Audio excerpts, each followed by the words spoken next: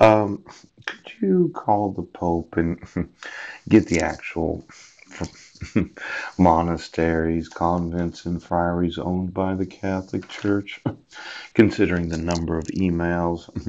It seems, well, it sounds mean, me kicking the nuns out. But I planned on fixing up the places, and when you thought $100 billion was not doable, I thought I'd just take. well, I have some uses for the actual buildings. Mm-hmm. It is persecution, treason, and child abuse. Now, I'm going to remove every nun from every convent. I'm going to get some farm animals and put in some gardens. Yes. And I'm going to open them up for places to stay. now, if you could call France, I'd like to know how it's possible that nobody in the United States doesn't understand the child abuse of having children in the wrong class. Mm. Now, I'm going to want them living with me. And I'm going to want to speak to Marilyn about the fraud. Yes. So you just call each and every month.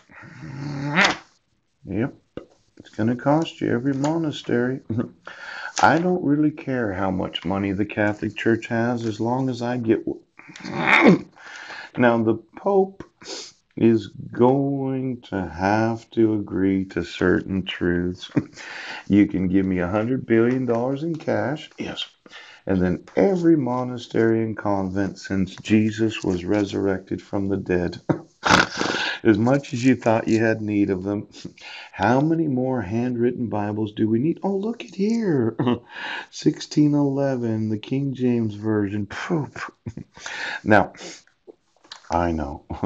this was really interesting. Did you know that the Department of Justice, yeah, kind of uh, said $3 million in a forfeiture of the objects? Yes. Could you get me all the looted objects that the Department of Justice said, well, we're going to have to take those antiquities? Now, let's say I was spending some money and I decided to buy up all the known antiquities of Christianity for the last 2,000 years. and then I put them on display for all the Christian world to see. and I would need to have every artifact of Christianity that the United States government has control of. now, as much as you thought that I wouldn't be able to get them.